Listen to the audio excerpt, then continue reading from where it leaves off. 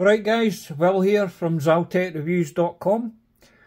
Uh, today I'm taking a look at one of the watches that I've been after for absolutely ages. Um, I wasn't aware there was like multiple, I knew there was multiple versions like different colourways and stuff. But I didn't know there was different versions of the same colour. Because this is a smaller one uh, and I believe Jody, he reviewed the larger one. So if you want to see his uh, video, there's not much difference between the watches. Uh, I think the only difference being is one that Jody bought and reviewed has loom and has a screw down crown. This one that I've got, it's basically 38mm and it's thinner uh, push pull crown. That's about the only difference. I'll leave a link in the description to Jody's review, uh, the larger one. Right, play the intro.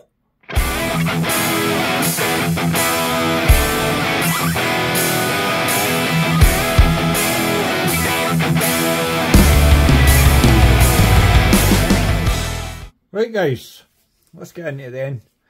To give this its proper name, I'll put it up on the screen as well. Uh, it is, well, they call it Citizen, the Citizen, which is fucking stupid if you ask me. Let's just call it the Citizen Chronomaster AQ 4020-54Y. Now, I'll show you, I mean the packaging, I'm glad I'd never spent an absolute shit ton, but it is a, a lot different to your normal, you know, $300 citizen watches that you normally get.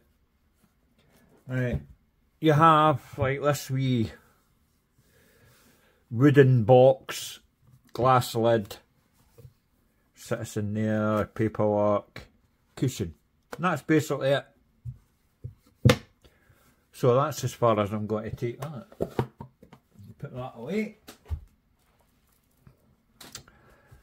Right, aye. This is a watch I've been wanting for a long time. Let me zoom in a bit. That'll do it. Put my glove back on. Right, I've got my wee polishing cloth here. Formex. Um, because this watch, there's a lot of polishing on it, but it's not polished uh, in the important parts, like the sides or the upper sides. It's just, there's a lot of polished accents, that's a better way to describe it.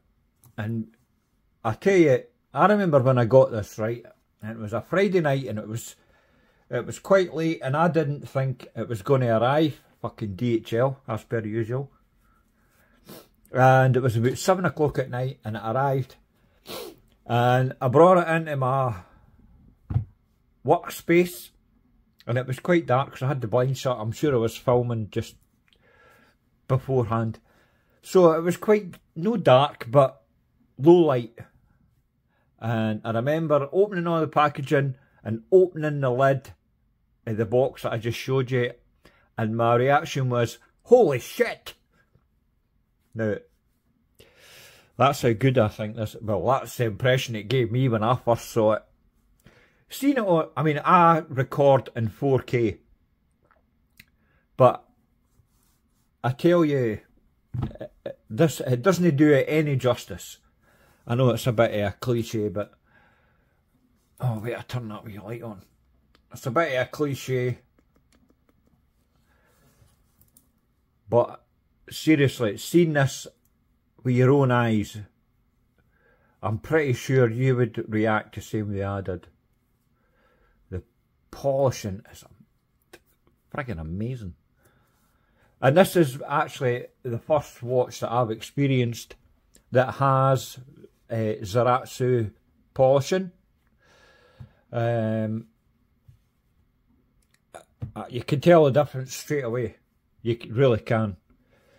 Um, I mean, you'll get some watches like this Christopher Ward that I recently reviewed. Uh, that had fantastic polishing on it, but see when you when you do sit them side by side, and you you know get the watch to play with the light and all that, it's oh, it's superb, man. I mean, for the money, uh, there's nothing comes close to this. Not even Grand Seiko. This pisses all over Grand Seiko at the same price. Because if you're looking to get a Grand Seiko like I was,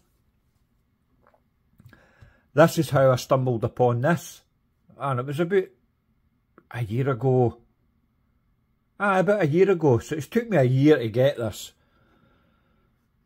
Because obviously I wanted it new, but I didn't want to pay new prices.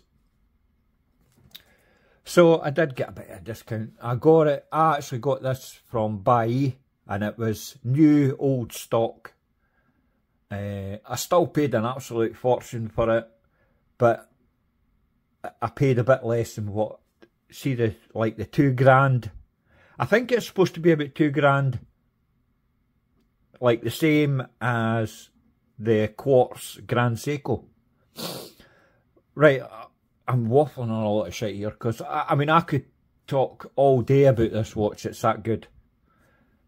Uh, I'll talk about. I'll, I'll go through everything. Right, the retail price of these that's on the tag down there is three hundred and eighty-five thousand Japanese yen. I'm not going to try and work that out off the top of my head because I've not got a skibby. Um, I'll put a link up. I know a link. I'll put a. I'll put some up on the screen to show you how that uh, equates to like US dollars in today's uh, exchange rate. Just to give you a rough idea, it's it's over two thousand anyway. That's easy. Uh, right, let's get into it then. Right, I'll as I say, this is the smaller version to the one that Jody reviewed. And I think this one's better. Right, uh, my own dimensions as per usual. Let me move that out the road so I can put my shit down this side. Uh, right, case diameter 37.8 mil. Total thickness of 10.2 mil. Lug to lug 44.9 mil and the lug width on this is 19 mil. Now that's a bit unfortunate that it's got a 19 mil, but you're, the thing is, you're never going to take the bracelet off. So, didn't bother me in the slightest. The total weight of the watch, sized up for my six and three quarter inch wrist, is 74 grams. That's because it's titanium. Uh, the movement inside it is the Citizen EcoDrive module A060. High accuracy, very high accuracy. Uh, plus minus five seconds per year. Yes, you heard that right. This was the most accurate watch you could buy at, some, at one point until Citizen beat it with a, a different watch. But see, to be honest, I've seen that other watch and it's, it looks fucking terrible and it's also mega fucking expensive. So I'm very happy with this Chronomaster. Uh, the movement is also anti-magnetic, which is good. Um, and it also has a perpetual calendar. Uh, and it's easy to set up. I'm not going to go through all the instructions. You can easily download the PDF and it's straightforward. When I got the watch, that's what I done. I downloaded the PDF, went through the bits to set up like the uh, leap year indicator, had a look at the power reserve, um, how to set it up, you know, so it's to the second, uh, aye, and the day and the month and the year, and as I said, also the leap year indicator. Luckily, when I checked it, it was to, uh, 2023 anyway, so I didn't have to change that. Uh, all I had to do when I got it is change the date and the month. Uh, and I checked the year and the year was fine as well. It's easy to do. Simple. Uh, so I'm not what to fuck about with the settings on it anyway because I've got it set up perfect. So Google it, you lazy bastards. no. Uh, just, as I say, download the manual. Right, let's talk finishing then. You have, is that light on? Yes. Right, you have brushed finishing on the sides and on top, right? Then you have polished quite a, a large um, chamfered edge that runs along the top and obviously it's got that Zaratsu polishing and it's fucking like a mirror.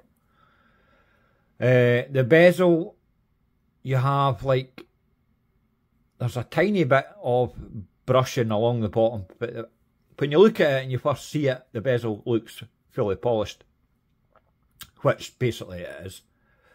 Uh, there's also polishing between the lugs. I don't know if I'll catch it on camera, but ah, you can see it there. Uh, there's a wee bit of polishing in the insides as well. Uh, there's no undercut, but this watch is super slim. It doesn't need to um, look slimmer than it actually is because it's just amazing. The, uh, the case back screw down, by the way, I'm jumping ahead of myself. Uh, with the polished logo there. Let's see if I can get that to, oh, it's a bit dirty. Obviously I have wore it. Uh, so I can review it properly. Uh, you could see there, it's a bit dirty. Obviously I'll clean this up. Because I am selling this watch, by the way. If you're interested, I'm, not trying to make a video that I'm selling it. But it's like everything else I buy. I can't keep everything because I run a, a review channel, obviously. And I just can't keep everything that I buy or I'll be bankrupt in a week. So I'm selling this. Uh, so if you're interested, uh, email me. I'll put the, my email address on the screen so you can see it. And enough said about that. Uh, right, where was I? Right, aye, the case, they call it super titanium, but it's basically, it's it's titanium, but citizens, uh, citizen, excuse me,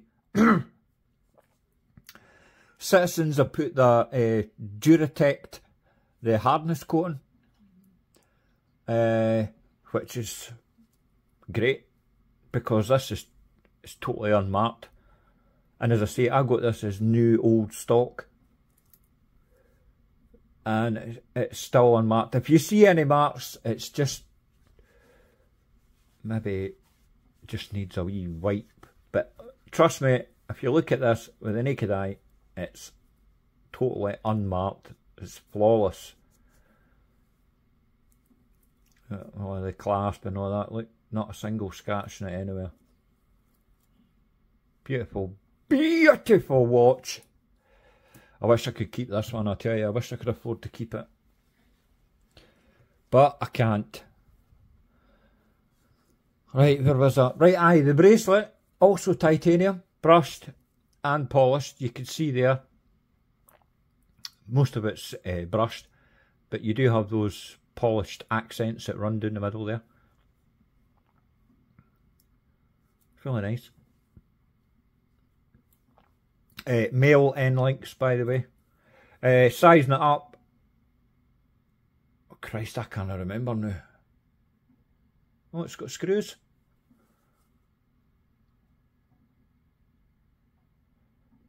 Is it the double-headed? I think it was, you know. Aye, double-headed screws, but it wasn't that difficult screws are really good quality. Not my favourite uh, way to size up a bracelet, but see once it's sized, that's it, it's done. And once you set the watch as well, that's it, done. You can just leave it forever. Super uh, accurate. as I say, I've had this here now, I think about two months. And the last time I checked it, which was about last week, it hadn't missed a beat. It's still running bang on to the second. So I've not had to adjust it or anything. Know that I'm going to, I mean, fuck's sake, five seconds a year. Under that is what they're stating. So, fantastic. Right. I'm sure I've missed bits out here. I've done that, done the uh, case, Zaratsu polishing, brushing, blah, blah, blah. Did I, what did I write about that? Oh, the clasp. The clasp is disappointing, I've got to admit. It's a bit small, but when you put it on wrist, and you've got its size and everything, super comfortable. You've got half links and all that, as you can see there. So you will get a good fit. I got a perfect fit. So I don't have any issues with it. Uh, on the fly adjustment on the class would have been superb and really took the watch to another, to a whole new level. But, I mean, how often do you adjust it, to be honest with you? Now and again, maybe. Anyway, aye, all titanium. Superb, but it's the finish, it's the best I've seen. Uh, this watch has the best finishing that I have ever seen. And I've seen more expensive watches than this. But this, if you can afford to get one of these, fucking buy it. Because you won't regret it. The finishing is, well, it's just beyond anything else I've seen, to be honest. Right, I'm starting to gush. Moving on. Uh, where am I? Bezel's fixed, obviously, it's titanium, it's got the polishing, blah blah blah. Hardness coating and that. Crystal's flat sapphire, and they have what they call is super clear anti-reflective coatings with a 99.9% clarity. I don't know if that was marketing spiel, but say to be honest with you, the crystal on this is it's fantastic. They've used the best available, that's for sure. And it is, it does a good job actually, the AR coating. And it is super clear as they call it. Right, let's talk about the dial. Right. You have this handmade, how do you, I don't know how you pronounce this, but Tosawashi white paper dial some Japanese fucking, I don't know. But it's lovely. Uh, it is white. there is certain lights. See, to be honest, see, you've got that wee sunburst effect, kind of. I think that's on the underside actually, because if I, you know what I'm like, I love white dials, right? And if I even see the hint of silver or off-white, cream, anything like that, I, I, lose interest. I like a, a, a crisp white dial. And this is, oh, slabber, this is a white dial. No question. Right, I was talking about the dial, wasn't I? Right, you have multifaceted applied batons Zaratsu polishing and it's hard to show on camera, right? But oh man, this thing just see when certain lights hit it and all the rest of the stuff. It, this is a light show, most definitely. I just hope it's coming across on camera. I don't think it is, to be honest with you. But when you see it with the naked eye, you're like, oh, fucking that's sexy. Hence the thumbnail. Aye, really, really nice watch. Uh, the crown on that on this smaller version, it's push pull, and it is a bit small. I measured it at five mil. But as I say, you're not going to use it like an automatic. Uh, you know what I mean? If you use it every two or three days, you're you're not setting nothing. So you set it once, push it in, and that's it done. The bigger one does have a screw down crown, but to be honest, this has got 100 metres water resistance anyway, so it's a perfect everyday watch. I would call it a sports watch. It is a wee bit on the dressy side, but I would say initially I would class it as a sports watch. Because it does, it's a perfect grab and go watch as well. Because it's super, uh, super accurate. It's probably more accurate than my phone anyway. That's how accurate this thing is.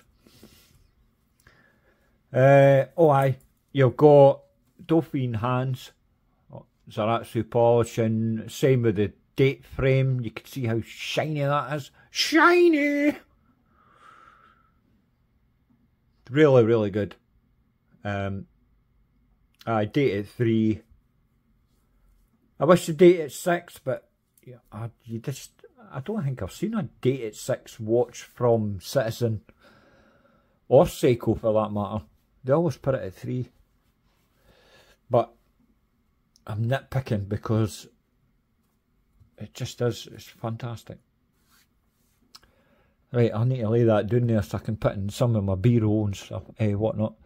The water resistance, 100 metres as I mentioned. Case back, I've done that. Screw down with the artwork and all that shit on it.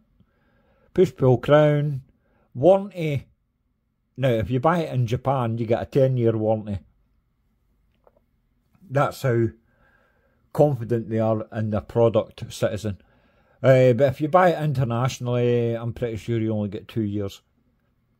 Uh, but to be honest, this thing's going to last a lifetime.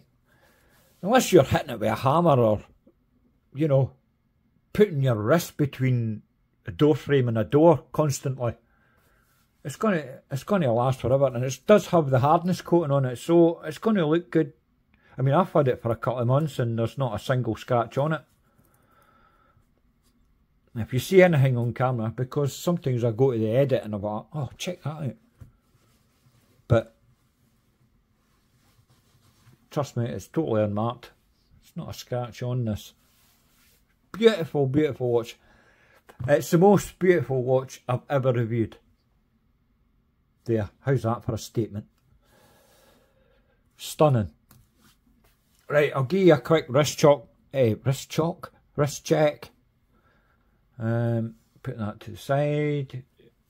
I'll zoom out a wee bit.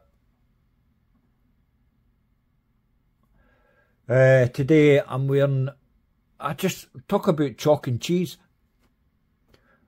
You, what this cheapo Casio compared to like circa two grandish citizen.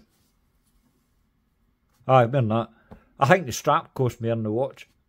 That's a a Vario strap. Super comfy. I don't know why I put this on. I just woke up this morning and I was like, I quite fancy wearing my world timer. So I shoved it on. Anyway, I'll take that off and I'll give you a, wrist shot of the Citizen And it is stunning, fits perfect. Oh, fucking hell. Super comfortable, super lightweight. And there you have it. It's only 10mm thick. As you can see there, that's why I prefer this one. Because I thought the bigger one was more like um, the Seiko that I reviewed a couple of months back because that was 39 point something mil, 39 and a half I think. But it wore quite big, uh, big because it was all dial. Whereas this, I think that, I mean 38, call it 38 mil, right? It's 37.9 or 8 or something. Where's like a 38 because male end, uh, end links and it's beautiful. Right, I think I've waffled on long enough. I if I'll give this a uh, award, I mean it's expensive, but oh by fuck, it's better than anything else that I've seen at that price.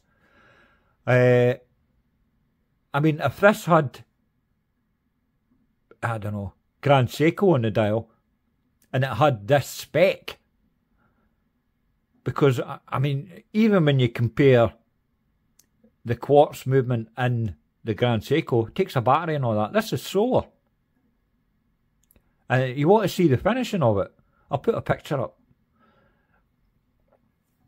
And you're like, ah, fucking hell, that's better than some Omegas I've seen. Anyway, I'm waffling and waffling. Right, guys, I'm going to go. Please like, share, and subscribe if you haven't already. I do appreciate it if you do hit that subscribe button. It does help the channel. Um, right, and I'll see you in the next video. Toodles!